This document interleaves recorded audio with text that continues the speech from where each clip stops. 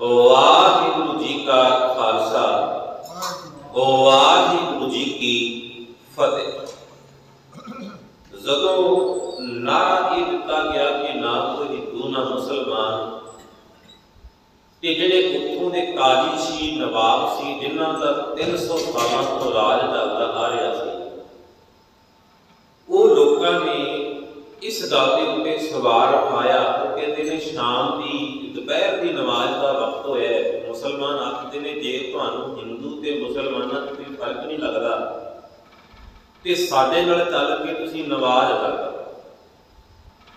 ਗੁਰੂ ਨਾਨਕ ਸਾਹਿਬ ਪਾਤਸ਼ਾਹ ਜੀ ਕਾਲੀ ਨੂੰ ਆਖਦੇ ਆ ਕਿ ਮੈਨੂੰ ਕੋਈ ਫਿਕਰ ਨਹੀਂ ਤੇ ਕੋਈ ਸ਼ੱਕ ਨਹੀਂ, ਮੈਂ ਤੁਹਾਡੇ ਨਾਲ ਜਾ ਕੇ ਨਮਾਜ਼ ਅਦਾ ਕਰ ਸਕਣਾ ਪਰ ਕਰਾਂਗਾ ਤਾਂ ਜੇ ਤੁਸੀਂ ਪਹਿਲਾਂ ਬੋਲੋਗੇ ਤੇ ਮੈਂ ਮਗਰ ਬੋਲਾਂਗਾ। ਕਾਜੀ ਨੇ ਸ਼ਰਤ ਕਬੂਲ ਕੀਤੀ। ਉਸ ਵੇਲੇ ਇਸਲਾਮ ਦੇ ਧਰਮ ਸਥਾਨ ਤੇ ਪਾਤਸ਼ਾਹ ਪਹੁੰਚ ਜਾਂਦੇ ਆ, ਜਿੱਥੇ ਉਹ ਰੋਜ਼ ਨਵਾਜ਼ ਅਦਾ ਕਰਦੇ ਸੀ? ਸਾਰਾ ਨਗਰ, ਇਹ ਕਹਿ ਲਓ ਸਾਰਾ ਸੁਲਤਾਨਪੁਰ ਇਕੱਠਾ ਹੋਇਆ ਹੈ। ਤੇ ਉਥੋਂ ਦਾ ਨਵਾਬ ਜਿਹੜਾ ਵੱਡਾ ਵੱਡਾ ਆਗੂ ਹੁੰਦਾ ਸੀ, ਨਵਾਬ ਦੌਲਤ ਖਾਨ ਵੀ ਮੌਜੂਦ ਹੈ। ਕਾਜੀ ਨੇ ਨਮਾਜ਼ ਪੜ੍ਹਨੀ ਸ਼ੁਰੂ ਕੀਤੀ ਗੁਰੂ ਨਾਨਕ ਸਾਹਿਬ ਪਾਤਸ਼ਾਹ ਵੇਖਦੇ ਨੇ ਕਾਜੀ ਨਮਾਜ਼ ਪੜ੍ਹੀ ਜਾਂਦਾ ਹੈ, ਮਹਾਰਾਜ ਵੇਖ ਵੇਖ ਹੱਸੀ ਜਾਂਦੇ ਆ, ਹਾਸਾ ਨਿਕਲ ਰਿਹਾ ਹੈ ਜਦੋਂ ਪਾਤਸ਼ਾਹ ਹੱਸਦੇ ਨੇ ਤੇ ਕਾਜੀ ਦੇ ਅੰਦਰ ਬਹੁਤ ਗੁੱਸਾ ਭਰਦਾ ਹੈ। ਜਦੋਂ ਕਾਜੀ ਨਵਾਜ਼ ਦਾ ਕਰਕੇ ਹਟਦਾ ਹੈ ਤੇ ਇੱਕੋ ਸ਼ਬਦ ਕਹਿੰਦਾ ਮੈਂ ਤੁਹਾਨੂੰ ਕਿਹਾ ਸੀ, ਤੁਸੀਂ ਆਂਦੇ ਹੋ ਵੀ ਹਿੰਦੂ, ਮੁਸਲਮਾਨ ਇੱਕੋ ਹੀ ਨੇ ਸਾਰੇ।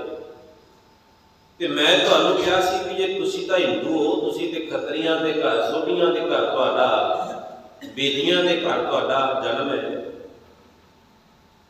ਤੇ ਤੁਸੀਂ ਇੱਕ ਮੁਸਲਮਾਨ ਨਾਲ ਨਵਾਜ਼ ਕਿਵੇਂ ਅਦਾ ਕਰੋਗੇ ਤੇ ਮੈਨੂੰ ਪਤਾ ਸੀ ਤੁਸੀਂ ਕਰਨੀ ਹੋਣੀ, ਤੁਸੀਂ ਕੀਤੀ ਵੀ ਗੁਰੂ ਨਾਨਕ ਸਾਹਿਬ ਪਾਤਸ਼ਾਹ ਕਹਿੰਦੇ ਕਾਜੀ ਜੀ, ਅਸੀਂ ਕਿਹਾ ਸੀ ਵੀ ਜੇ ਤੁਸੀਂ ਪੜੋਗੇ ਤੇ ਤਾਂ ਪੜਾਂਗੇ ਕਾਜੀ ਕਹਿੰਦੇ ਲੋਕਾਂ ਦੇ ਸਾਹਮਣੇ ਆ ਵੀ ਮੈਂ ਤੇ ਨਵਾਜ਼ ਅਦਾ ਕਰ ਦਿੱਤੀ ਬੋਲੇ ਪੜਿਆ ਗੁਰੂ ਨਾਨਕ ਸਾਹਿਬ ਪਾਤਸ਼ਾਹ ਕਹਿੰਦੇ ਕਾਜੀ ਜੀ, ਆਪਣੇ ਢੇਤ ਨਾ ਭੁਲਾਓ।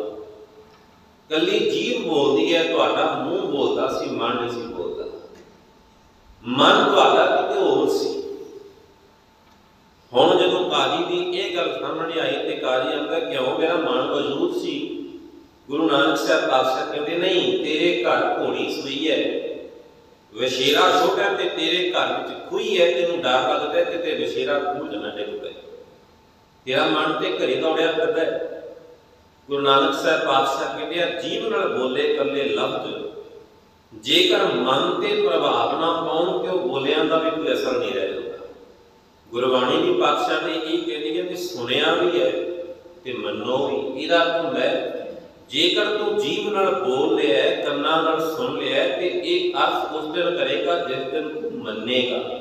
ਸੁਣਿਆ, ਮੰਨਿਆ, ਮਨ ਕੀਤਾ ਭਾਉ, ਅੰਤਰਗਤ ਤੀਰਥ ਮਾਲਾ ਜਦੋਂ ਅੰਦਰ ਆਤਮੇ ਮੰਨਦੇ ਆ ਤੇ ਫਿਰ ਬੋਲਿਆ ਪ੍ਰਵਾਨ ਹੁੰਦਾ ਹੈ।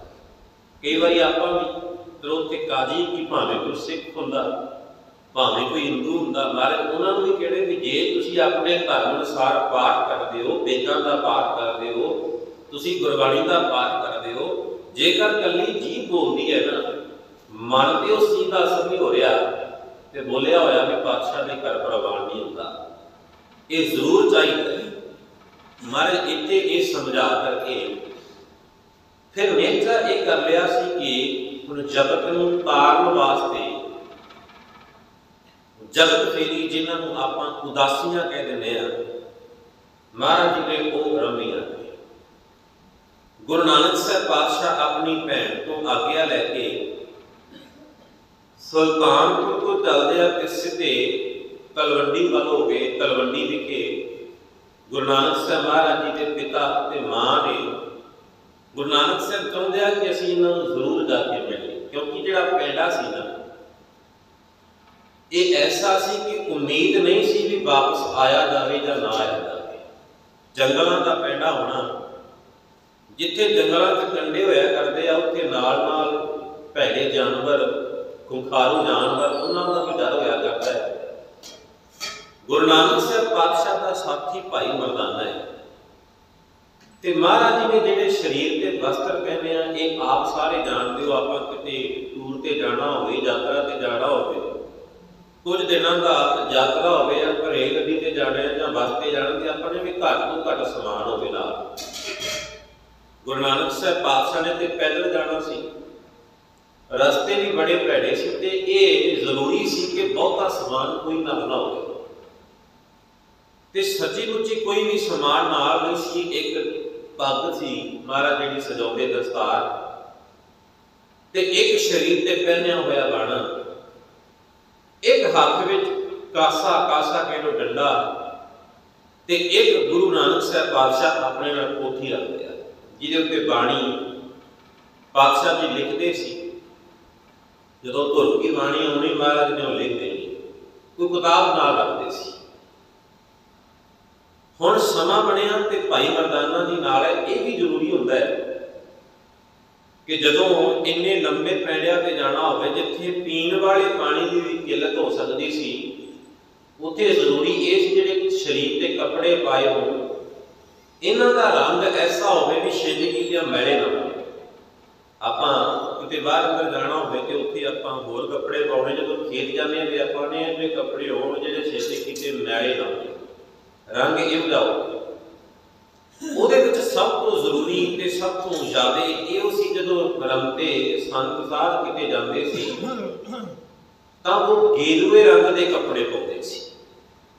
ਸੀ ਗੇਰੂਏ ਰੰਗ ਜਿਵੇਂ ਆਪਾਂ ਆਪੇ ਵੇਖਦੇ ਆ ਵੀ ਸਾਧ ਸੰਤਾਂ ਦੇ ਪਾਇਆ ਹੁੰਦਾ ਹੈ, ਗੇਰੂ ਰੰਗ ਦਾ ਕੱਪੜਾ। ਮਹਾਰਾਜ ਜੀ ਨੇ ਉਹ ਕੱਪੜਾ ਚੁਣ ਲਿਆ ਤੇ ਉਹਦੇ ਚੋਲੇ ਬਣਵਾ ਕੇ ਲੰਬੇ ਕੁੜਤੇ ਬਣਵਾ ਕੇ ਸਰੀਰ ਤੇ ਪਹਿਨ ਜਿਹੜਾ ਬਾਣਾ ਆਮ ਤੌਰ ਤੇ ਸੰਤਾਂ ਸਾਧਾਂ ਦਾ ਸੀ।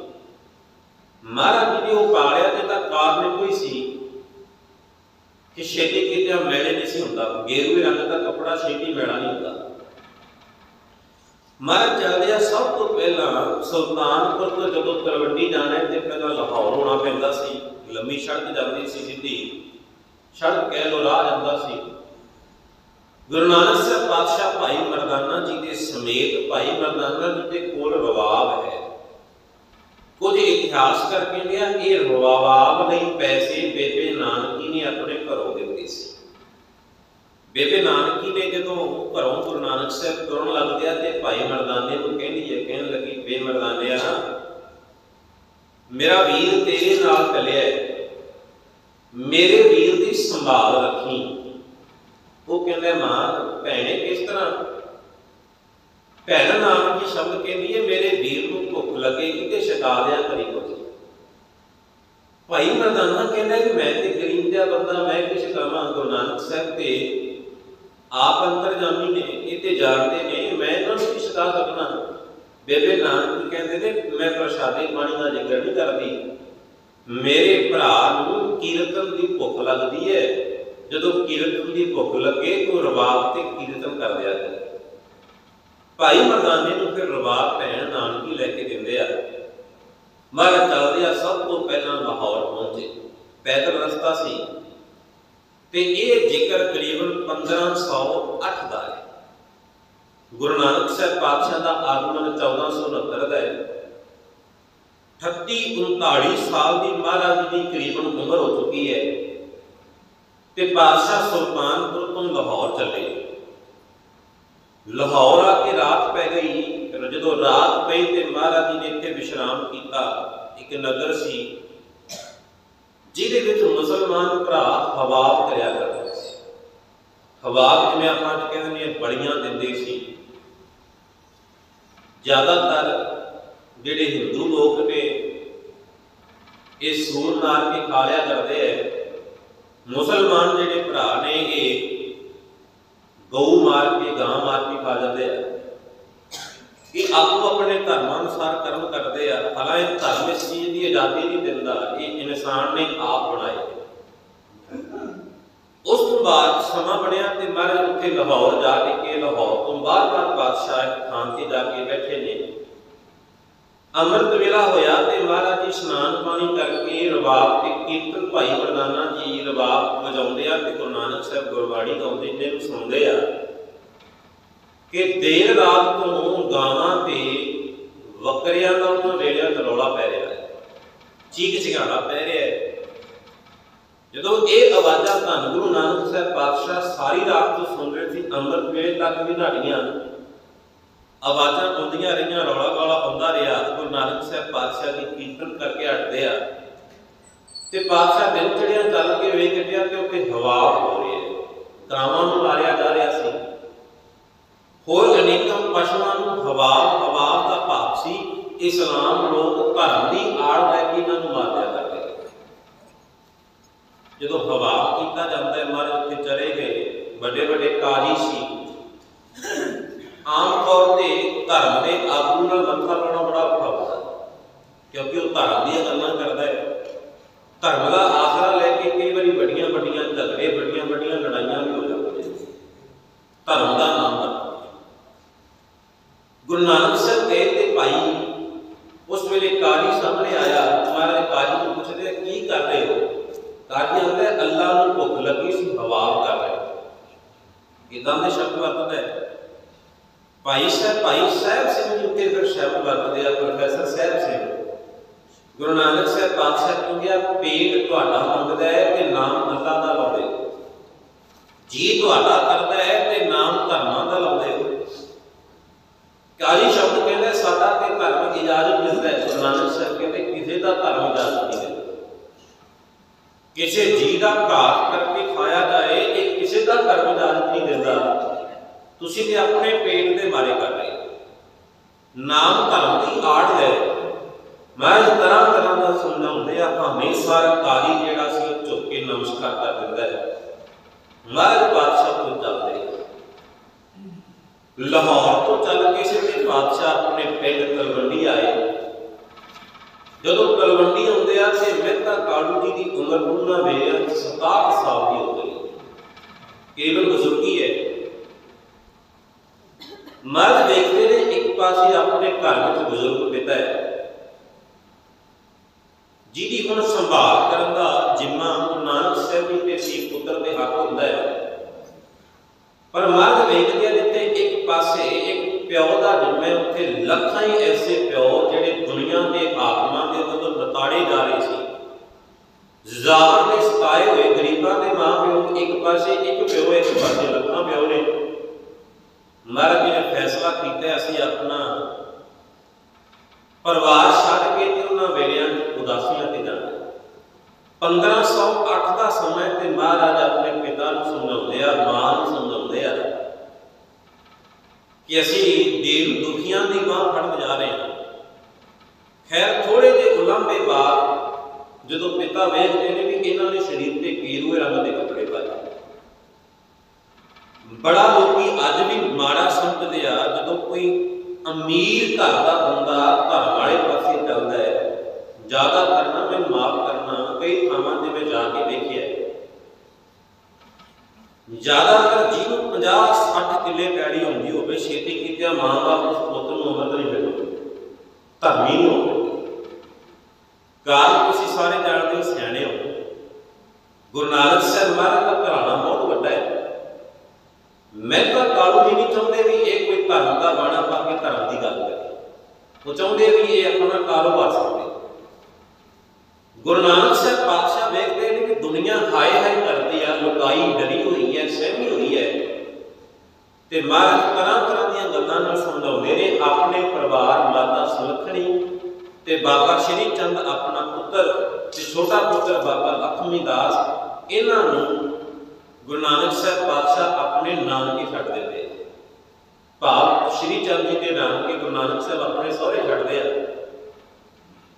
ਉਸ ਤੋਂ ਬਾਅਦ ਤਲਵੰਡੀ ਤੋਂ ਆਗਿਆ ਲੈ ਕੇ ਮਹਾਰਾਜ, ਤਲਵੰਡੀ ਤੋਂ 50 ਕਿਲੋਮੀਟਰ ਦੀ ਵਿੱਥ ਹੈ ਸੈਦਪੁਰ, ਜਿਹਨੂੰ ਆਪਾਂ ਅੱਜ ਐਮਨਾਬਾਦ ਕਹਿੰਦੇ ਹਾਂ। ਐਮਨਾਬਾਦ ਦੀ ਧਰਤੀ ਤੇ ਮਹਾਰਾਜ ਪਹੁੰਚਦੇ ਆ 50 ਮੀਲ ਦੀ ਵਿੱਚ ਸੀ ਕਰੀਬਨ 15 ਕੁ ਦਿਨਾਂ ਦਾ ਸਮਾਂ ਮਹਾਰਾਜ ਇੱਥੇ ਵੇਖਦੇ ਆ ਉਸ 15 ਕੁ ਦਿਨ ਦਾ ਸਮਾਂ ਲੱਗਿਆ। ਸੁਲਤਾਨਪੁਰ ਤੋਂ ਚੱਲੇ ਤੇ ਬਾਅਦ ਤਲਵੰਡੀ ਹੁੰਦੇ ਸੈਦਪੁਰ ਪਹੁੰਚ ਗਏ।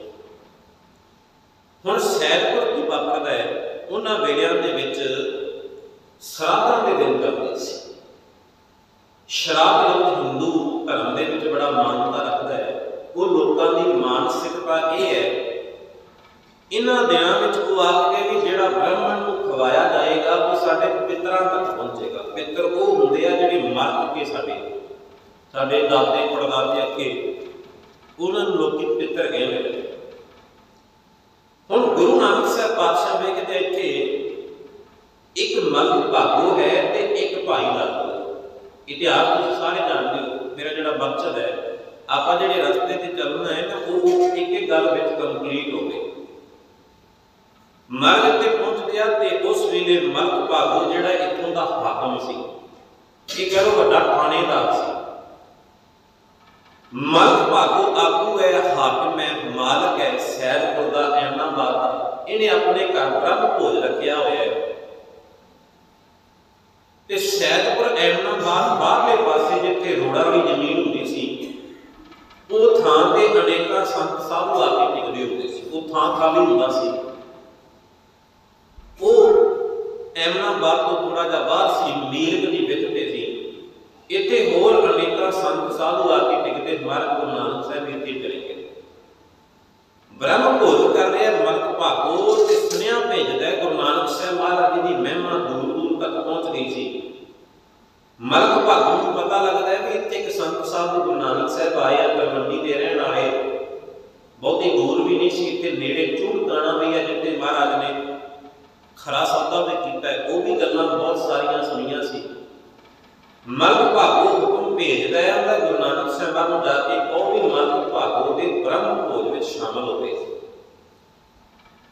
ਮਲਕ ਭਾਗੋ ਦੀ ਖਬਰ ਗੁਰੂ ਨਾਨਕ ਸਾਹਿਬ ਬਾਰੇ ਜਦੋਂ ਪਹੁੰਚਦੀ ਆ ਹੋਰ ਅਨੇਕਾਂ ਸਾਧੂ ਬੈਠੇ ਉੱਠ ਕੇ ਚਲੇ ਜਾਂਦੇ ਆ ਮਲਕ ਭਾਗੋ ਦੇ ਬ੍ਰਹਮ ਭੋਜ ਨੂੰ ਜਾ ਕੇ ਛਕਦੇ ਆ ਕਈ ਪ੍ਰਕਾਰ ਦਾ ਭੋਜਨ ਤਿਆਰ ਕੀਤਾ ਹੈ ਮਨਸਾ ਉਹਦੀ ਇਹ ਹੈ ਵੀ ਇਹ ਮੇਰੇ ਪਿਤਰਾਂ ਤੱਕ ਪਹੁੰਚੇ।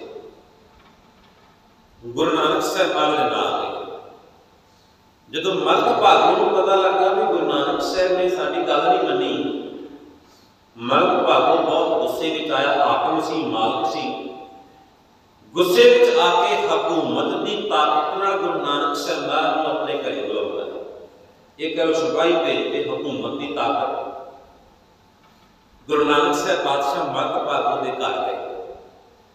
ਹੁਣ ਇੱਥੇ ਉਹ ਭੋਜਨ ਹੈ ਜਿਨ੍ਹਾਂ ਨੂੰ ਲੋਕੀ ਤਰਸਦੇ ਆ, ਬੜਾ ਸਵਾਦਲਾ ਬੜਾ ਤਰ੍ਹਾਂ ਤਰ੍ਹਾਂ ਦਾ ਭੋਜਨ ਕਰੋ ਛੁੱਟੀ ਪ੍ਰਕਾਰ ਦਾ ਭੋਜਨ। ਗੁਰੂ ਨਾਨਕ ਸਾਹਿਬ ਗਏ ਤੇ ਮਲਕ ਭਾਗੋ ਪੁੱਛਦਾ ਹੈ, ਮੇਰੇ ਘਰ ਤੁਸੀਂ ਕਿਉਂ ਨਾ ਟਿਕੇ? ਮੈਂ ਬਾਰ-ਬਾਰ ਬੁਲਾ ਰਿਹਾ ਤੁਸੀਂ ਕਿਉਂ ਨਹੀਂ ਆ ਰਹੇ? ਗੁਰੂ ਨਾਨਕ ਸਾਹਿਬ ਪਾਤਸ਼ਾਹ ਕਹਿੰਦੇ ਆ ਅਸੀਂ ਤੇਰੇ ਘਰ ਵਿੱਚ ਇਹ ਛਕਣਾ ਨਹੀਂ। ਮਲਕ ਮਿਹਨਤ ਨਾਲ ਤੇ ਬ੍ਰਾਹਮਣਾਂ ਦੀ ਕਹਿਣ ਨਾਲ ਇਹ ਬ੍ਰਹਮ ਭੋਜ ਤਿਆਰ ਕੀਤਾ ਹੈ। ਤੁਸੀਂ ਛਕਣਾ ਕਿਉਂ ਨਹੀਂ? ਗੁਰੂ ਨਾਨਕ ਸਾਹਿਬ ਕਹਿੰਦੇ, ਇਹਦੇ ਵਿੱਚ ਨਾ ਕਿਸੇ ਦਾ ਖੂਨ ਹੈ। ਇਹਦੇ ਇਹ ਤਾਂ ਕਿਸੇ ਦੀ ਕਮਾਈ ਹੈ, ਤੇਰੀ ਆਪਣੀ ਕਮਾਈ ਨਹੀਂ, ਕਿਉਂਕਿ ਜਿਹੜਾ ਮਲਕ ਭਾਗੋ ਸੀ, ਇਹ ਰਿਸ਼ਵਤ ਰਿਸ਼ਵਤਖੋਰ ਬੰਦਾ ਸੀ। ਧੋਖੇਬਾਜ਼ ਬੰਦਾ ਸੀ, ਗਰੀਬ ਲੋਕਾਂ ਤੋਂ ਲੁੱਟ ਕੇ ਖਾਂਦਾ ਸੀ।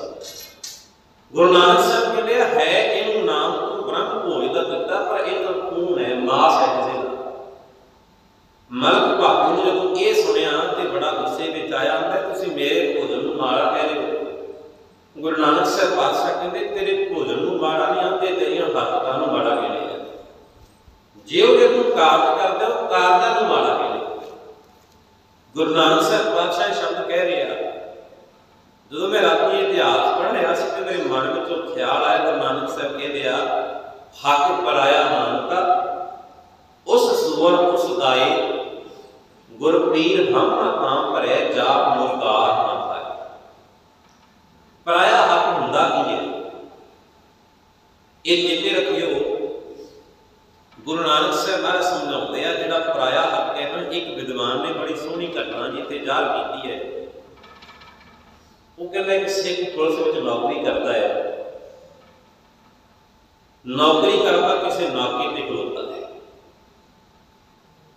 ਤੇ ਇੱਕ ਸਿੱਖ ਬੜਾ ਗਰੀਬ ਹੈ ਉਹ ਸਵੇਰ ਤੋਂ ਲੈ ਕੇ ਸ਼ਾਮ ਤੱਕ ਦਿਹਾੜੀ ਤੇ ਗਿਆ ਕਿਸੇ ਸਾਧਨ ਤੇ ਚੜ ਕੇ ਗਿਆ ਸਵੇਰ ਤੋਂ ਲੱਗਿਆ ਤੇ ਸ਼ਾਮ ਤੱਕ ਦਿਹਾੜੀ ਕਰਕੇ ਉਹਨੇ 3-400 ਰੁਪਇਆ ਕੱਢਿਆ ਵਾਪਸ ਘਰਾਂ ਨੂੰ ਆ ਰਿਹਾ ਸੀ ਤੇ ਨਾਕੇ ਤੋਂ ਲੰਘਣਾ ਸੀ ਜਦੋਂ ਨਾਕੇ ਤੋਂ ਲੰਘਣਾ ਹੈ ਨਾ ਉਸ ਵੇਲੇ ਉਹਨਾਂ ਨੇ ਰੋਕ ਲਿਆ ਹੁਣ ਇਧਰਲੇ ਪਾਸੇ ਸਿਪਾਹੀ ਵੀ ਪੁਲਿਸ ਵਾਲਾ ਹੈ ਤੇ ਇਧਰਲੇ ਪਾਸੇ ਸਿੱਖ ਫਿਰਦੀ ਹੈ ਜਿਹੜਾ ਕਮਾਈ ਕਰਕੇ ਆਇਆ ਉਹਨਾਂ ਰੋਕ ਲਿਆ ਸਾਰੇ ਇੱਕੋ ਜਿਹੇ ਨਹੀਂ ਹੁੰਦੇ ਪਰ ਵਿੱਚ ਬਹੁਤ ਹੁੰਦੇ ਆ ਉਹਨਾਂ ਰੋਕਿਆ ਤਰ੍ਹਾਂ ਤਰ੍ਹਾਂ ਦੇ ਇਲਜ਼ਾਮ ਲਾ ਕੇ ਆਂਦੀ ਸਾਲ ਤੋਂ 2-300 ਰੁਪਇਆ ਨਜਾਇਜ਼ ਢੰਗ ਨਾਲ ਲੈ ਲਿਆ ਨਜਾਇਜ਼ ਢੰਗ ਉਹ 2-300 ਲੈ ਕੇ ਸਿੱਖ ਜਿਹੜਾ ਪੁਲਿਸ ਵਾਲਾ ਹੈ ਸਿਪਾਹੀ ਹੈ ਉਹ ਆਪਣੇ ਘਰ ਜਾਂਦਾ ਹੈ ਰਸਤੇ ਦੇ ਵਿੱਚੋਂ ਨਾਰ ਦਾ ਜੂਸ ਲੈ ਜਾਂਦਾ ਹੈ ਅਨਾਰ ਦਾ ਜੂਸ ਲਿਜਾ ਕੇ ਤੇ ਆਪਣੇ ਪਰਿਵਾਰ ਆਪਣੇ ਪੁੱਤ ਧੀ ਦੇ ਮੂੰਹ ਲਾਉਂਦਾ ਹੈ ਜਦੋਂ ਨਾਰ ਦਾ ਜੂਸ ਪਿਆਵੇ ਤੇ ਇਧਰੋਂ ਗੁਰੂ ਨਾਨਕ ਸਾਹਿਬ ਆ ਗਏ ਗੁਰੂ ਨਾਨਕ ਸਾਹਿਬ ਆ ਕੇ ਕਹਿੰਦੇ ਸਿੱਖਾ ਕੀ ਪਿਆਉਣਾ ਹੈ ਉਹ ਅੱਗੇ ਉਹਨਾਂ ਦਾ ਮਹਾਰਾਜ ਮੈਂ ਤਾਂ ਨਾਰ ਦਾ ਜੂਸ ਪਿਆਉਣਾ ਹੈ ਗੁਰੂ ਨਾਨਕ ਸਾਹਿਬ ਕਹਿੰਦੇ ਤੇਰਾ ਭੁਲੇਖਾ ਹੈ ਇਹ ਉਸ ਬੰਦੇ ਦਾ ਖੂਨ ਹੈ ਜੀ ਤੂੰ 2-300 ਨਜਾਇਜ਼ ਢੰਗ ਨਾਲ ਲੁੱਟ ਕੇ ਇਹ ਤੇਰੀ ਕਮਾਈ ਹੋਣਾ ਇਹ ਤੇ ਉਹਦਾ ਖੂਨ ਪਸੀਨਾ ਸੀ ਉਹਨੇ ਕਮਾਈ ਕਰਕੇ ਵੱਟਿਆ ਸੀ ਤੂੰ ਨਜਾਇਜ਼ ਢੰਗ ਨਾਲ ਲੁੱਟ ਲਿਆ ਆ ਜਿਹੜਾ ਨਜਾਇਜ਼ ਢੰਗ ਨਾਲ ਲੁੱਟਿਆ ਹੋਇਆ ਹੁੰਦਾ ਹੈ ਉਹ ਹੱਕ ਪਰਾਇਆ ਹੈ ਮਰ ਕਹਿੰਦੇ ਆ ਹੱਕ ਪਰਾਇਆ ਨਾਨਕਾ, ਉਸ ਸੂਰ, ਉਸ ਗਾਏ, ਹਿੰਦੂ ਲਈ ਗਾਂ ਖਾਣੀ, ਤੇ ਮੁਸਲਮਾਨ ਲਈ ਸੂਰ ਖਾਣਾ ਬੜਾ ਮਾੜਾ ਮੰਨਿਆ ਜਾਂਦਾ ਹੈ। ਮਾਰਾ ਕਹਿੰਦੇ ਪਰ ਉਹ ਖਾਂਦੇ ਆ ਜਦੋਂ ਨਜਾਇਜ਼ ਢੰਗ ਨਾਲ ਕਿਸੇ ਤੋਂ ਲੁੱਟਦੇ ਆ। ਹੱਕ ਪਰਾਇਆ ਨਾਨਕਾ ਸੂਰ, ਉਸ ਗਾਏ ਗੁਰ ਪੀਰ ਅਮਾ ਤਾਂ ਭਰੈ, ਜਾਂ ਮੁਰਦਾਰ ਨਾ ਗੁਰੂ ਸਾਡੀ ਹਾਮੀ ਤਾਂ ਭਰਦਾ ਜੇ ਇਹੋ ਜਿਹੇ ਮੁਰਦੇ ਨਹੀਂ ਪਾਉਂਦਾ ਉਹ ਤਾਂ ਆਪਾਂ ਕਈ ਵਾਰੀ ਕਹਿੰਦੇ ਆ ਵੀ ਸਿੱਖ ਮਾਗ ਨਹੀਂ ਮੰਨਦਾ। ਸੱਚੀ ਮੁੱਚੀ ਸਾਡੇ ਧਰਮ ਚ ਮਨਾਈ ਹੈ। ਪਰ ਮੈਂ ਇੱਕ ਬੇਨਤੀ ਕਰਾਂ, ਇੱਕ ਲੋਕੀ ਤਾਂ ਉਹ ਜਿਹੜੇ ਪਸ਼ੂਆਂ ਦਾ ਮਾਸ ਖਾਂਦੇ ਆ, ਇੱਕ ਲੋਕੀ ਉਹ ਜਿਹੜੇ ਬੰਦਿਆਂ ਦਾ ਮਾਸ ਖਾਂਦੇ ਇਹ ਮਾਸ ਬੜਾ ਮਾੜਾ ਹੋ। ਸਕਦਾ ਉਹ ਤੇ ਇੱਕ ਪਾਪ ਹੋਵੇ, ਇੱਕ ਜਾਨਵਰ ਨੂੰ ਮਾਰ ਕੇ ਖਾਣਾ ਪਾਪ ਹੈ। ਪਰ ਜਿਹੜਾ ਬੰਦੇ ਦਾ ਮਾਸ ਖਾਣਾ ਹੈ ਜਿੱਤੇ ਰੱਖਿਓ ਇੱਕ ਕੁਲਾ ਨਾਸ ਕਰਦਾ ਦਿੰਦਾ ਦਾ ਨਾਸ ਕਰ ਆਪਾਂ ਕਿਵੇਂ ਕਹਿੰਦੇ ਕਿ ਮੇਰਾ ਇਹ ਤਾਂ ਕੀ ਮਾੜਾ ਕੀਤਾ ਹੈ। ਇਹ ਕਈ ਵਾਰੀ ਇਨਸਾਨ ਜਾਣੇ ਅਣਜਾਣੇ ਕਰ ਦਿੰਦਾ ਹੈ। ਗੁਰੂ ਨਾਨਕ ਸਾਹਿਬ ਪਾਤਸ਼ਾਹ ਨੇ ਮਲਕ ਭਾਗੋ ਨੂੰ ਸਮਝਾਇਆ ਭਾਈ ਤੇਰੀ ਕਿਰਤ ਕਮਾਈ ਜਿਹੜੀ ਹੈ ਨਾ ਹੱਕ ਦੀ ਨਹੀਂ। ਇਹ ਕਿਸੇ ਦੀ ਕਮਾਈ ਹੈ। ਤੂੰ ਜੇ ਨਜਾਇਜ਼ ਢੰਗ ਨਾਲ ਲੈ ਆਉਣਾ ਹੈ, ਉਹਦਾ ਬ੍ਰਹਮ ਭੋਜ ਕਰਨਾ ਹੈ। ਤੂੰ ਤੇ ਮਾੜਾ ਬਣਨਾ ਹੀ ਹੈ। ਜੇ ਇਹ ਭੋਜਨ ਤੇਰੇ ਪਿਤਰਾਂ ਤੱਕ ਆਉਂਦਾ ਤੂੰ ਤੇ ਆਪਣੇ ਪਿਤਰਾਂ ਨੂੰ ਵੀ ਮਾੜਾ ਬਣਾਈ ਜਾਂਦਾ। ਉਹਨਾਂ ਨੂੰ ਵੀ ਅੱਗੇ ਉਹ ਕਹਿਣਗੇ ਨਾ ਮਹਾਰਾਜ ਇੱਕ ਬਾਣੀ ਚ ਕਹਿੰਦੇ ਆਸਾ ਦੀ ਬਾਤ ਦਾ ਸ਼ਬਦ ਹੈ, ਪਿਤਰੀ ਚੋਰ ਕਰੇ।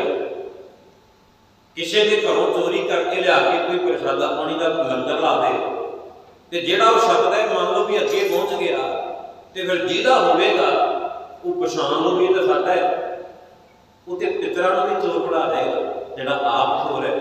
ਮਹਾਰਾਜ ਤੇ ਬਾਣੀ ਸਮਝਾਉਂਦੇ ਆ ਵੀ ਇਨਸਾਨ ਉਹ ਕਰਮ ਕਰ ਜਿਹੜੀ ਤੇਰੀ ਨੇਕ ਮ ਹੁਣ ਇੱਕ ਪਾਸੇ ਉਹ ਮਲਕ ਭਾਗੂ ਹੈ ਜਿਹਦੇ ਘਰੇ ਅੰਨ ਧਨ ਦਾ ਤੋਟ ਨਹੀਂ ਪਰ ਇਹ ਕਿਸੇ ਦੀ ਕਮਾਈ ਦਾ ਹੈ।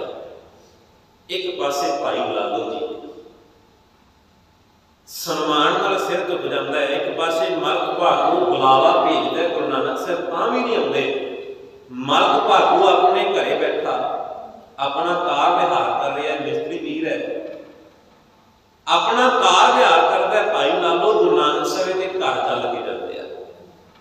ਤੇ ਇੱਕ ਚੇਤੇ ਰੱਖਿਓ, ਜਦੋਂ ਅਸੀਂ ਸਿੱਧੇ ਰਸਤੇ ਤੇ ਤੁਰਨੇ ਆ ਨੇਕ ਕਮਾਈ ਕਰਾਂਗੇ ਤੇ ਕੱਲ ਯਾਦ ਰੱਖਿਓ, ਗੁਰੂ ਨਾਨਕ ਸਾਹਿਬ ਮਹਾਰਾਜ ਆਪ ਚੱਲ ਕੇ ਆਉਂਦੇ ਆ ਸਾਡੇ ਘਰ ਇੱਕ ਤੇ ਉਹ ਜਿਹੜਾ ਰੱਬ ਨੂੰ ਧਿਆਉਂਦਾ ਹੈ, ਇੱਕ ਉਹ ਹੈ ਜਦੋਂ ਕੋਈ ਨੇਕ ਰਸਤੇ ਤੇ ਚੱਲਦਾ ਹੈ, ਕੋਈ ਧੋਖਾ ਨਹੀਂ ਕਰਦਾ, ਚੋਰੀਆਂ ਨਹੀਂ ਕਰਦਾ, ਠਗੀਆਂ ਨਹੀਂ ਮਾਰਦਾ ਉਹ ਇਨਸਾਨ ਜਦੋਂ ਆਪਣੇ ਰਸਤੇ ਤੇ ਚੱਲਦਾ ਤੁਰਦਾ ਫਿਰ ਉਹਦੇ ਘਰੇ ਰੱਬ ਆਪ ਤੁਰ ਕੇ ਆਉਂਦਾ ਜਿਵੇਂ ਭਾਈ ਲਾਲੋ ਦੇ ਘਰ ਗੁਰੂ ਨਾਨਕ ਸਾਹਿਬ ਆਪ ਚੱਲ ਕੇ ਤੇ ਭਾਈ ਲਾਲੋ ਦੇ ਘਰ ਕੋਈ ਬਹੁਤਾ ਸਵਾਦਲਾ ਖਾਣਾ ਨਹੀਂ ਹੈ। ਇਹਦੇ ਕੋਲ ਤੇ ਕੋਦਰੇ ਦੀ ਰੋਟੀ ਹੈ। ਸਾਦੀ ਦੀ ਦਾਲ ਹੈ। ਗੁਰੂ ਨਾਨਕ ਸਾਹਿਬ ਪਾਤਸ਼ਾਹ ਚੱਲ ਕੇ ਕਰਕੇ ਭਾਈ ਲਾਲੋ ਦੇ ਘਰ ਜਾ ਕੇ ਆਪ ਮੰਗਦੇ ਆ, ਲਾਲੋ, ਲਿਆ ਪ੍ਰਸ਼ਾਦਾ ਛਕੀਏ ਭਾਈ ਲਾਲੋ ਦੇ ਘਰ ਗੁਰੂ ਸਾਹਿਬ ਤਕਰੀਬਨ 2 ਦਿਨ ਤੱਕ ਰਹੇ ਆ। ਮਲਕ ਭਾਗੂ ਨੂੰ ਇਹ ਸਾੜਾ ਹੈ ਵੀ ਜਿਹੜਾ ਲਾਲੋ ਹੈ ਤੇ ਸ਼ੁੱਧਰ ਹੈ, ਛੁੱਟੀ ਜਾਂਦਾ ਹੈ ਇਹਦਾ ਸ਼ਬਦ ਕਹਿੰਦਾ ਕਹਿੰਦਾ, ਮੈਂ ਵੱਡਾ, ਮੇਰੇ ਘਰ ਬੁਲਾਵੇ ਤੇ ਵੀ ਨਹੀਂ ਆਉਂਦੇ। ਲਾਲੋ ਦੇ ਘਰ ਬਿਨਾ ਬੁਲਾਏ ਚਲੇ ਜਾਂਦੇ ਆ। ਇਹ ਸਾੜਾ ਕਰਕੇ ਗੁਰੂ ਨਾਨਕ ਸਾਹਿਬ ਮਹਾਰਾਜ ਜੀ ਤੋਂ ਕਾਫੀ ਤੰਗ ਹੋਇਆ। ਪਰ ਖੈਰ ਨਾਦ ਨੂੰ ਸਮਝਾ ਕੇ ਅੱਗੇ ਜਾਂਦੇ ਆ। ਗੁਰੂ ਨਾਨਕ ਸਾਹਿਬ ਮਹਾਰਾਜ ਹੁਣ ਇੱਥੋਂ ਚੱਲ ਕੇ ਸਿੱਧੇ ਹਰਿਦੁਆਰ ਜਾਂਦੇ ਹਰਦੁਆਰ ਜਿਹੜਾ ਇਹ ਤਲਵੰਡੀ ਰਾਏ ਹੋਏ ਦੀ ਤਲਵੰਡੀ ਤੋਂ ਕਰੀਬਨ 350 ਕਿਲੋਮੀਟਰ ਹੈ। ਇਸ ਰਸਤੇ 'ਚ ਮਹਾਰਾਜ ਕਰੀਬਨ 6 ਮਹੀਨੇ ਸਮਾਂ ਲਾ ਦਿੰਦੇ 6 ਮਹੀਨੇ ਤੁਰਦੇ ਆ। ਕਦੇ ਠਹਿਰਦੇ ਆ, ਕਦੇ ਤੁਰਦੇ ਆ। ਰੁਕ ਰੁਕ ਕੇ ਪਾਤਸ਼ਾਹ ਜਾਂਦੇ ਨੇ। ਥਾਵੇਂ ਥਾਵੇਂ ਹੋ ਕੇ ਖੈਰ ਜ਼ਿਆਦਾਤਰ ਇਤਿਹਾਸ ਦੱਸਦਾ ਹੈ, ਪਾਤਸ਼ਾਹ ਸਿੱਧੇ ਹਰਦੁਆਰ ਜਾਂਦੇ ਆ। ਇਹਨਾਂ ਸਮਿਆਂ ਦੇ ਵਿੱਚ ਹਰਦੁਆਰ ਜਿਹੜਾ ਹੈ ਵਿਸਾਖੀ ਵਾਲਾ ਦਿਨ ਆ ਚੁੱਕਿਆ ਹੈ। ਹਰਦੁਆਰ ਦੇ ਵਿੱਚ ਇੱਕ ਕਰਮ ਕਾਂਡ ਹੁੰਦਾ ਹੈ। ਅੱਜ ਵੀ ਹੁੰਦਾ ਹੈ। ਹਰਦੁਆਰ ਦੇ ਲੋਕੀ ਗੰਗਾ 'ਚ ਖਲੋ ਕੇ ਵਿਸਾਖੀ ਵਾਲੇ ਦਿਨ ਸੂਰਜ ਵੱਲ ਨੂੰ ਬੁੱਕਾ ਨਾਲ ਪਾਣੀ ਛੱਡਦੇ ਜਦੋਂ ਗੁਰੂ ਨਾਨਕ ਸਾਹਿਬ ਪਾਤਸ਼ਾਹ ਇਹ ਵੇਖਦੇ ਨੇ, ਹੁਣ ਪਾਤਸ਼ਾਹ ਤੇ ਜਾਣੀ ਜਾਣਨੇ ਵੀ ਕਰ ਕੀ ਰਹੇ ਨੇ। ਪਰ ਮਹਾਰਾਜ ਜੀ ਨੇ ਸੰਸਾਰ ਨੂੰ ਤਾਰਨਾ ਵੀ ਹੈ ਤੇ ਮੈਂ ਜ਼ਿਆਦਾਤਰ ਉਸ ਦਿਨ ਦੀ ਬੇਨਤੀ ਕੀਤੀ ਸੀ, ਗੁਰੂ ਨਾਨਕ ਸਾਹਿਬ ਜ਼ਿਆਦਾ ਉੱਥੇ ਗਏ ਜਿੱਥੇ ਲੋਕਾਂ ਦਾ ਵੱਡਾ ਇਕੱਠ ਹੁੰਦਾ ਸੀ, ਹਰਦੁਆਰ ਬਹੁਤ ਇਕੱਠ ਹੁੰਦਾ ਸੀ। ਗੰਗਾ ਦੇ ਕਿਨਾਰੇ ਵਸਿਆ ਹੋਇਆ ਛੋਟਾ ਜਿਹਾ ਟਾਪੂ ਦਾ ਨਾਮ ਹਰਦੁਆਰ ਰੱਖਿਆ ਹੈ। ਬਾਦਸ਼ਾਹ ਗਏ, ਲੋਕੀ ਭੁੱਖਾਂ ਨਾਲ ਪਾਣੀ ਕੱਢਣ ਹਰਦੁਆਰ, ਸੂਰਜ ਵੱਲ। ਇਸ਼ਾਰਾ ਉਹਨਾਂ ਦਾ ਸੀ ਵੀ ਅਸੀਂ ਸੂਰਜ ਦੇਵਤੇ ਦੇ ਰਾਹੀਂ ਆਪਣੇ ਮਿੱਤਰਾਂ ਨੂੰ ਪਾਣੀ ਦੇ ਰਹੇ ਹਾਂ। ਗੁਰੂ ਨਾਨਕ ਸਾਹਿਬ ਪਾਤਸ਼ਾਹ ਜੀ ਨੇ ਸਭ ਕੁਝ ਵੇਖਿਆ ਤੇ ਗੰਗਾ ਦੇ ਉਲਟ ਪਾਸੇ, ਸੂਰਜ ਦੇ ਉਲਟ ਪਾਸੇ ਪਾਣੀ ਸੁੱਟਣ ਲੱਗ ਪਏ। ਉਤੋਂ ਦੇ ਬ੍ਰਾਹਮਣ ਜਿਹੜੇ ਸੀ ਬੜੇ, ਦੇਖ ਕੇ ਹੈਰਾਨ ਹੋਏ ਕਿ ਪਹਿਲਾ ਬੰਦਾ ਐਸਾ ਜਿਹੜਾ ਦੁਨੀਆ ਤੋਂ ਉਲਟੀ ਚੱਲਦਾ ਹੈ। ਤੇ ਇੱਕ ਚੇਤੇ ਰੱਖਿਓ ਗੱਲ, ਕਈ ਵਾਰੀ ਬੰਦਾ ਆਖਦਾ ਹੈ ਕਿ ਫਲਾਣਾ ਬੰਦਾ ਇਹ ਉਲਟੀ ਚੱਲਦਾ ਪਾਇਆ ਉਤੇ ਸੱਚ ਦਾ ਜਿਹੜਾ ਮਾਰਗ ਹੁੰਦਾ ਹੈ, ਝੂਠ ਤੋਂ ਉਲਟੀ ਹੁੰਦਾ ਹੈ। ਸੱਚ ਦਾ ਰਾਹ ਵੱਖਰਾ ਹੈ, ਝੂਠ ਦਾ ਰਾਹ ਵੱਖਰਾ ਹੈ। ਗੁਰਬਾਣੀ ਆਂਦੀ ਹੈ, ਝੂਠ ਵਾਲੇ ਪਾਸੇ ਦੁਨੀਆ ਸਾਰੀ ਜਾਂਦੀ ਹੈ। ਸੱਚ ਵਾਲੇ ਪਾਸੇ ਕੋਈ ਇੱਕ ਹੀ ਜਾਂਦਾ ਹੈ, ਕੋਈ ਬਿਰਲਾ ਹੀ ਜਾਂਦਾ ਹੈ। ਜੇ ਮਾਰਗ ਪੰਡਤ ਗਏ, ਪਾਛੈ ਪਰੀ ਗਹੀਰ ਇੱਕ ਅਵਕਟ ਘਾਟੀ ਰਾਮ ਕੀ ਤਹਿ ਚੜ ਰਹੇ ਹੋ ਕਬੀਰ। ਸੱਚ ਵਾਲਾ ਮਾਰਗ ਕੱਲਾ ਇੱਕ ਹੀ ਜਾਂਦਾ ਹੈ। ਹੁਣ ਗੁਰੂ ਨਾਨਕ ਸਾਹਿਬ ਪਾਤਸ਼ਾਹ ਪੁੱਠੇ ਪਾਸੇ ਪਾਣੀ ਦਿੰਦੇ ਆ। ਬ੍ਰਾਹਮਣ ਹੈਰਾਨ ਹੋ ਗਏ ਤੇ ਗੁਰੂ ਨਾਨਕ ਸਾਹਿਬ ਕੋਲ ਆ ਕੇ ਪੁੱਛਦੇ ਆ ਬਾਣਾ ਮਹਾਰਾਜ ਜੀ ਦੇ ਸਾਧੂਆਂ ਸੰਤਾਂ ਦਾ ਪਾਇਆ ਗੇਰੂ ਰੰਗ ਦੇ ਕੱਪੜੇ ਪਾਏ ਆ। ਸਿਰ ਤੇ ਦਸਤਾਰ ਬੱਧੀ। ਬ੍ਰਾਹਮਣ ਆ ਕੇ ਪੁੱਛਦੇ, ਜੀ, ਕੀ ਕਰ ਰਹੇ ਹੋ? ਗੁਰੂ ਨਾਨਕ ਸਾਹਿਬ ਪਾਤਸ਼ਾਹ ਉਲਟਾ ਜਵਾਬ ਮੰਗਦੇ ਆ, ਤੁਸੀਂ ਕੀ ਕਰਦੇ ਹੋ? ਬ੍ਰਾਹਮਣ ਜਵਾਬ ਦਿੰਦੇ ਆ ਕਿ ਅਸੀਂ ਤੇ ਸੂਰਜ ਦੇਵਤੇ ਦੇ ਰਾਹੀਂ ਆਪਣੇ ਪਿਤਰਾਂ ਨੂੰ ਪਾਣੀ ਦੇ ਰਹੇ ਹਾਂ। ਗੁਰੂ ਨਾਨਕ ਸਾਹਿਬ ਪਾਤਸ਼ਾਹ ਕਹਿੰਦੇ ਆ, ਮੈਂ ਆਪਣੇ ਖੇਤਾਂ ਨੂੰ ਪਾਣੀ ਦੇ ਰਿਹਾ ਸਾਰੇ ਤਾੜੀਆਂ ਮਾਰ ਮਾਰ ਹੱਸਦੇ ਆਂਦੇ ਦੇਖੋ ਕਿੰਨਾ ਕਮਲਾ ਬੰਦਾ ਹੈ। ਕਿੱਥੇ ਦੇ ਖੇਤ, ਕਿੱਥੇ ਤਲਵੰਡੀ? 350 ਕਿਲੋਮੀਟਰ ਦੂਰ ਹੈ। ਕਿੱਥੇ ਤਲਵੰਡੀ ਤੇ ਕਿੱਥੇ ਹਰਦੁਆਰ? ਤੇਰਾ ਪਾਣੀ ਕਿਵੇਂ ਪਹੁੰਚੂ ਗੁਰੂ ਨਾਨਕ ਸਾਹਿਬ ਹੱਸ ਕਹਿੰਦੇ ਆ, ਮੇਰਾ 350 ਕਿਲੋਮੀਟਰ ਨਹੀਂ ਜਾਂਦਾ, ਤੁਸੀਂ ਕਿੰਨੇ ਹਜ਼ਾਰਾਂ ਮੀਲਾਂ ਤੇ ਵਧਾਈ ਜਾਂਦੇ ਹੋ? ਕਿਉਂ? ਮੇਰੇ ਕੋਲੇ ਮੇਰੇ ਵੇਲੇ ਪਾਣੀ ਮੁੱਕ ਗਿਆ। ਗੁਰੂ ਨਾਨਕ ਸਾਹਿਬ ਪਾਤਸ਼ਾਹ ਇਹ ਇਸ਼ਾਰਾ ਕਰਦੇ ਆ ਤੇ ਸਾਰੇ ਖਮੋਸ਼ ਹੁਣ। ਇਸ ਗੱਲ ਦਾ ਜਵਾਬ ਕੋਈ ਨਹੀਂ ਸੀ? ਦਲੀਲ ਦਾ ਜਵਾਬ ਜਦੋਂ ਕੋਈ ਮੰਗ ਲੈ ਨਾ ਉਸ ਚੀਜ਼ ਦਾ ਸੱਚੀ ਮੁੱਚੀ ਕੋਈ ਜਵਾਬ ਨਹੀਂ ਹੁੰਦਾ। ਕਈ ਵਾਰੀ ਅਸੀਂ ਧਰਮ ਦੇ ਕੰਮ ਅਨੇਕਾਂ ਐਸੇ ਕਰ ਰਹੇ ਹੁੰਦੇ ਆ। ਜਦੋਂ ਕੋਈ ਫਿਰ ਉਸ ਖਿੱਤੇ ਤੇ ਆ ਕੇ ਸਾਨੂੰ ਸਵਾਲ ਕਰਦਾ ਹੈ, ਕਈ ਵਾਰੀ ਬੰਦਾ ਮਜਬੂਰ ਹੋ ਜਾਂਦਾ ਵੀ ਆਪ ਕੀ ਦਿੱਤਾ, ਮੈਂ ਜਵਾਬ ਹੀ ਦੇਣਾ ਸਾਰੇ ਬ੍ਰਾਹਮਣ ਦਾ ਹੈਰਾਨ ਹੋਏ।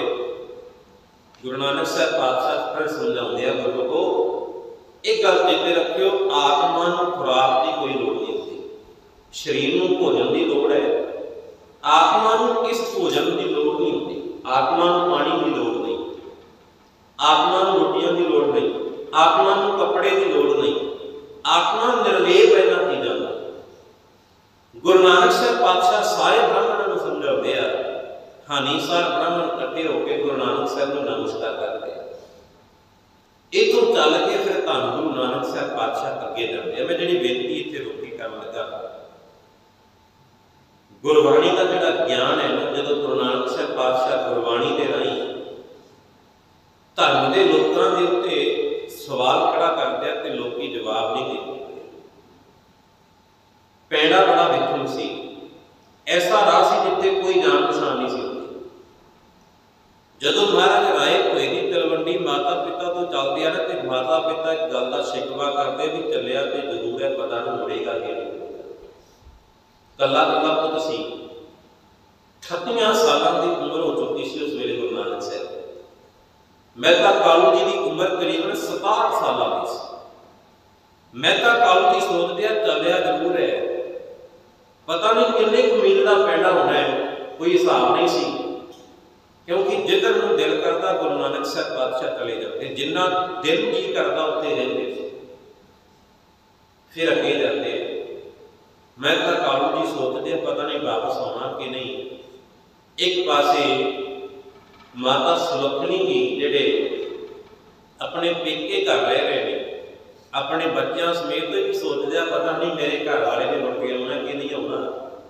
ਪਰ ਮੈਂ ਪਹਿਲਾਂ ਵੀ ਬੇਨਤੀ ਕੀਤੀ, ਇੱਕ ਪਾਸੇ ਇੱਕ ਮਾਂ ਹੈ, ਇੱਕ ਪਿਓ ਹੈ, ਇੱਕ ਪਾਸੇ ਲੱਖਾਂ ਮਾਂ ਪਿਓ ਨੇ। ਜਿਹੜੇ ਤੜਪ ਰਹੇ ਸੀ, ਜਿਨ੍ਹਾਂ ਨੂੰ ਕੋਈ ਬਾਹ ਨਹੀਂ ਸੀ ਪੜਦਾ ਮੈਂ ਉਸ ਦਿਨ ਵੀ ਕਿਹਾ ਸੀ, ਜਦੋਂ ਵਕਤ ਇਹ ਸੀ ਨਾ ਵੀ ਕਾਲੀ ਕੂੜ ਬੋਲ ਮਲ ਖਾਏ, ਬ੍ਰਾਹਮਣ ਨਾਵੇ ਦੀਆਂ ਖਾਏ ਜੋਗੀ ਜੁਗਤ ਨਾ ਕਰਨੇ ਅੰਤ ਤੀਨੇ ਉਹ ਜਾੜੇ ਕਾ। ਤਿੰਨਾਂ ਨੇ ਉਜਾੜਾ ਪਾ ਇਹ ਤਿੰਨੇ ਪ੍ਰਮੁੱਖ ਸੀ ਬੜੇ। ਤਿੰਨ ਧਾਰਮਿਕ ਸਥਾਨ ਤੋਂ ਪ੍ਰਮੁੱਖ ਹੁੰਦੇ ਸੀ, ਇੱਕ ਤਾਂ ਹਿੰਦੂਆਂ ਦੇ ਤੀਰਥ ਸਥਾਨ ਦੂਸਰਾ ਜੋਗੀਆਂ ਦੇ ਮੱਠ ਤੇ ਤੀਸਰਾ ਇਸਲਾਮ ਵਾਲਿਆਂ ਦੇ ਧਰਮ ਸਥਾਨ ਇਹ ਤਿੰਨਾਂ ਸਥਾਨਾਂ ਤੇ ਮਹਾਰਾਜ ਜਾਂਦੇ ਰਹੇ। ਗੁਰਮੁਖ ਮੱਤੇ ਵੀ ਗਿਆ ਜੋਗੀਆਂ ਕੋਲ। ਇਸਲਾਮ ਵਾਲਿਆਂ ਕੋਲ ਵੀ ਜਾਂਦੇ ਰਹੇ ਆ, ਮੱਕੇ ਵੀ ਮਹਾਰਾਜ ਗਏ ਆ। ਤੇ ਹਿੰਦੂਆਂ ਦੇ ਤੀਰਥਾਂ ਤੇ ਆਮ ਜ਼ਿਕਰ ਸੀ ਕਿਉਂਕਿ ਹਿੰਦੂ ਗਿਣਤੀ ਜ਼ਿਆਦਾ ਸੀ। ਇਸਲਾਮ ਦਾ ਰਾਜ ਇੱਕ ਦੋ ਸਾਲਾਂ ਦਾ ਨਹੀਂ 300 ਸਾਲਾਂ ਤੋਂ ਇਸਲਾਮ ਦਾ ਰਾਜ ਚੱਲਿਆ ਆ ਰਿਹਾ ਸੀ। ਇਸਲਾਮੀ ਜਿਹੜੇ ਲੋਕ ਸੀ, ਇਹ ਗੈਰ ਧਰਮਾਂ ਨੂੰ ਜਿਉਂ ਨਹੀਂ ਸੀ ਦਿੰਦੇ। ਗੈਰ ਧਰਮਾਂ ਵਾਲਾ ਜਦੋਂ ਕੋਈ ਆਪਣੇ ਧਰਮ ਦੀ ਗੱਲ ਕਰਦਾ, ਇਸਲਾਮ ਵਾਲੇ ਗੱਲ ਨੂੰ ਕੱਟ ਕੇ ਆਪਣੇ ਧਰਮ ਦੀ ਗੱਲ ਕਰਦੇ ਸੀ। ਉਹਨਾਂ ਕੋਲ ਤਾਕਤ ਸੀ, ਜਿਵੇਂ ਗੁਰੂ ਨਾਨਕ ਸਾਹਿਬ ਦੇ ਮਰਦ ਭਾਗੋ ਕੋਲ ਨਹੀਂ ਜਾ ਰਹੇ ਸੀ, ਉਹ ਆਪਣੀ ਹਕੂਮਤ ਦੀ ਤਾਕਤ ਵਰਤ ਕੇ ਕੋਲ ਲਿਆ ਗੁਰੂ ਨਾਨਕ ਸਾਹਿਬ ਮਹਾਰਾਜ, ਜਿਹਦੇ ਜੀਵਨ ਵਿੱਚ ਕਈ ਵਾਰ ਘਟਨਾ ਵਾਪਰੀ, ਬਾਬਰ ਨੇ ਕਹਿ ਵਿੱਚ ਬੰਦ ਕਰ ਦਿੱਤੀ। ਪਰ ਗੁਰੂ ਨਾਨਕ ਸਾਹਿਬ ਪਾਤਸ਼ਾਹ ਅਡੋਲ ਸੀ। ਕਿਸੇ ਗੱਲ ਦਾ ਭੈ ਨਹੀਂ ਸੀ, ਨਿਰਭੈਤਾ ਨਾਲ ਮਰਦ ਅੱਗੇ ਚੱਲਦੇ ਆਓ ਆਪਾਂ ਰਹਿੰਦਾ ਇਤਿਹਾਸ, ਆਉਣ ਵਾਲੇ ਦਿਨਾਂ ਵਿੱਚ ਵਿਚਾਰਾਂਗੇ ਗੁਰੂ ਗ੍ਰੰਥ ਸਾਹਿਬ ਮਹਾਰਾਜ ਰਹਿਮਤ ਕਰਨ, ਗੁਰੂ ਨਾਨਕ ਸਾਹਿਬ ਮਹਾਰਾਜ ਜੀ ਦਾ ਇਤਿਹਾਸ ਜਿਹੜਾ ਨਾ ਹੈ ਬਹੁਤ ਲੰਮੇਰਾ ਆਪਾਂ ਇੱਕ ਇੱਕ ਦਿਨ ਵਿਚਾਰਨਾ ਹੋਵੇ ਤੇ ਜ਼ਿੰਦਗੀਆਂ ਛੋਟੀਆਂ ਪੈ ਜਾਂਦੀਆਂ ਪਰ ਜਿੰਨੀ ਕੁ ਪਾਤਸ਼ਾਹ ਮਿਹਰ ਕਰਦੇ ਆਪਾਂ ਰਹਿੰਦੇ ਸਮੇਂ ਵਿੱਚ, ਜ਼ਿਆਦਾ ਨਹੀਂ, ਕਿਉਂ? ਮਾਤਰ ਮੈਂ ਉਹਨਾਂ ਦੀ ਆਪਾਂ ਪੜ੍ਹਦੇ ਆ ਜਿੰਨਾ ਕੁ ਸਮਝ ਪੈ ਸਕੇ। ਇਹ ਗੱਲਾਂ ਯਾਦ ਰਹਿ ਜਾਣ। ਗੁਰੂ ਨਾਨਕ ਸਾਹਿਬ ਮਹਾਰਾਜ ਕਿਤੇ ਕਿਤੇ ਗਏ? ਚਾਰ ਉਦਾਸੀਆਂ ਚ ਮਹਾਰਾਜ ਜੀ ਨੇ ਸਾਰਾ ਮੁਲਕ ਕੋਈ ਪਿੰਡ, ਕੋਈ ਸ਼ਹਿਰ ਐਸਾ ਨਹੀਂ ਬਚਿਆ ਕਿੱਥੋਂ ਚੱਲਦੇ ਨੇ ਮਹਾਰਾਜ? ਸਾਰੇ ਸਰਸੇ ਵੀ ਆਏ ਆਪਣੇ ਹੋ ਸਕਦੇ ਨਗਰ ਵਿੱਚੋਂ ਲੰਘੇ ਹੋ ਇਸ ਚੀਜ਼ ਦਾ ਸਬੂਤ ਤੇ ਨਹੀਂ ਹੁੰਦਾ, ਪਰ ਰਸਤੇ ਤੇ ਇਹ ਜਾਂਦੇ ਸੀ। ਜਦੋਂ ਪਾਤਸ਼ਾਹ ਇੱਧਰੋਂ ਆ ਰਹੇ ਸੀ ਤੇ ਇਧਰ ਨੂੰ ਜਾਣਾ ਤੇ ਆਪਾਂ ਸਰਸੇ ਵੱਲ ਜਾਣਾ ਤੇ ਆਹੀ ਰਾਹ ਪੈਂਦੇ ਆ। ਤਰ੍ਹਾਂ ਤਰ੍ਹਾਂ ਦੇ ਰਾਹ ਤੇ ਹੋ ਕੇ ਕਰੀਬਨ ਦੁਨੀਆ ਦੇ ਕਿਸੇ ਕੋਨੇ ਵਿੱਚ ਐਸਾ ਥਾਂ ਨਹੀਂ ਜਿੱਥੇ ਗੁਰੂ ਨਾਨਕ ਸਾਹਿਬ ਦੇ ਚਰਨ ਨਾ ਟਿਕੇ। ਸਾਰੀਆਂ ਥਾਵਾਂ ਤੇ ਗੱਲ ਗਏ ਆ, ਉਹ ਭਰੇ ਦੇ ਦਿਨਾਂ ਤੇ ਵਿਚਾਰ ਕਰਾਂਗੇ। ਸਾਰੀਆਂ ਸੰਤਾਂ ਦਾ ਧੰਨਵਾਦ। ਕੋਟਾਂ ਤੋਂ ਸ਼ੁਕਰ ਗੁਰੂ ਗ੍ਰੰਥ ਸਾਹਿਬ ਪਾਤਸ਼ਾਹ ਜੀ ਦਾ। ਮਹਾਰਾਜ ਰਹਿਮਤ ਕਰ ਧੰਨਵਾਦ। ਆਓ ਨਾਮ ਸਾਹਿਬ ਦੇ ਪਾਠ ਸ਼ਾਮਲ ਹੋਈਏ। ਗੁਲਾਬ ਫਤਿਹ ਆਖੋ ਜੀ। ਵਾਹਿਗੁਰੂ ਜੀ ਕਾ ਖਾਲਸਾ। ਵਾਹਿਗੁਰੂ